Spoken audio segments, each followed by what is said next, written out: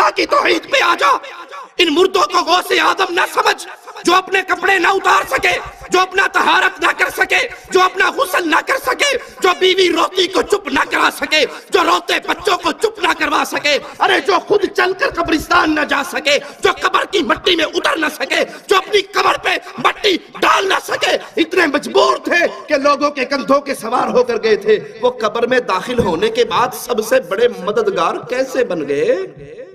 आज के दौर में ज़रूरत है ला इलाहा के आवाजे को फिर वैसे बुलंद किया जाए, जैसे बिलाल ने मक्के की गलियों में किया था। हैदराबाद के एक मौलवी साहब का जुमला सुनाऊं? वो कहते हैं, मुझे कोई मौलवी चैलेंज करता हूँ मैं। मुझे कोई पीर फकीर, कोई मौलवी किसी जमात का बड़ा गारंटी दे दे कि मैं बख्शवा लूँगा। मैं बरेलवी फिरका छोड़ के तुम्हारी जमात में शामिल हो जाता हूँ। कोई मुझे ये कह दे कि हमारे ग्रुप में आ, तेरी बख्शिश हो जाएगी, तू जन्नत में जाएगा। मैं तुम्हारे ग्रुप में आने के लिए तैयार हूँ। कहा, अगर नहीं, कोई गारंटी नहीं दे सकता। तो फिर सुनो, मैं कहता हूँ, हमारी जमात में आओ। हमारी जमात में आओगे, पीर जलानी बख्शवा लेगा। गौसे आज़म बख्शवा लेंगे। गरीबुल नवाज़ बख्शवा लेंगे। आओ सारे बरेलवी हो जाओ, मुझसे जन्नत के टिकट ले जाओ। हमारे ये बड़े बड़े पीर क्यामत के दिन अल्लाह के सामने खड़े होके अपने मुरीदों को छुड़वा कर जन्नत में ले जाएँगे। तमाम जमातों के मौलवी और मुल्लाओं से मेरी गुजारिश है। मेरा चैलेंज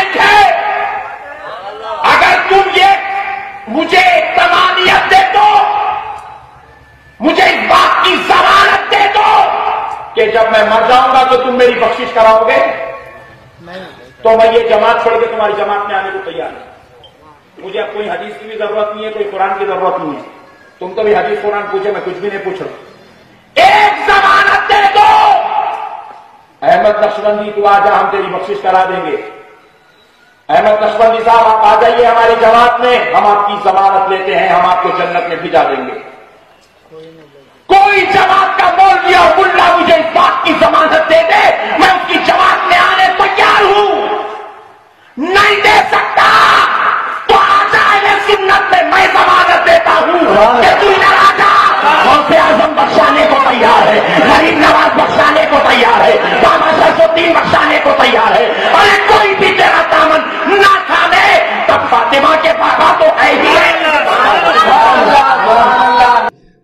तूने चैलेंज दिया है, मैं तेरा चैलेंज कबूल करता हूँ। अल्लाह की कसम वाहिद बन जा, मोहम्मद की हदीस गारंटी देती है, तुझे अल्लाह जन्नत दे देगा। अल्लाह की तोहीद पे आ जा। इन मुर्दों को गौ से आदम ना समझ, जो अपने कपड़े ना उतार सके, जो अपना तहारत ना कर सके, जो अपना गुसल ना कर सके जो बीवी रोती को चुप ना करा सके, जो रोते बच्चों को चुप ना करवा सके, अरे जो खुद चलकर कब्रिस्तान न जा सके, जो कबर की मट्टी में उतर ना सके, जो अपनी कब्र पे मट्टी डाल ना सके, इतने मजबूर थे कि लोगों के कंधों के सवार होकर गए थे। वो कबर में दाखिल होने के बाद सबसे बड़े मददगार कैसे बन गए? गौसे आदम का मायना क्या है?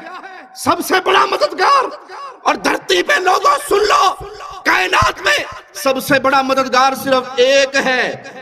और वो नहीं है जो मर के मट्टी में दफन हो जाए, वो है जो सबको मारता है, उसे मौत। तुम कहते हो हमारा बाबा इंडिया का गरीब नवाज़ है। अरे अल्लाह की कसम, कायनात में गरीब नवाज़ दो नहीं है, गरीब नवाज़ एक है। अगर तुम्हारा ये बाबा गरीब नवाज़ है तो अल्लाह को क्या कहोगे? हम कहते हैं, अल्लाह गरीब नवाज़ है। कैसे? दलील मांगो हमसे। वो माली कहता है अंजुमुल फुकरा। तुम सारे गरीब हो, तुम सारे फकीर हो, तुम सारे मंगते हो। नबी, वली, अली गौस कुतब जो तुमने बना रखे हैं, अपने बुज़ुर्गों को नाम दे रखे हैं गौस कुतब के सुनो, ये सब अल्लाह के दर के फकीर है, सवाली है, मंगते हैं। गौसे आदम गरीब नवाज़ बंदा नवाज़ बंदा परवर दाता अपने अरश पे है। वो धरती में दफन नहीं हुआ।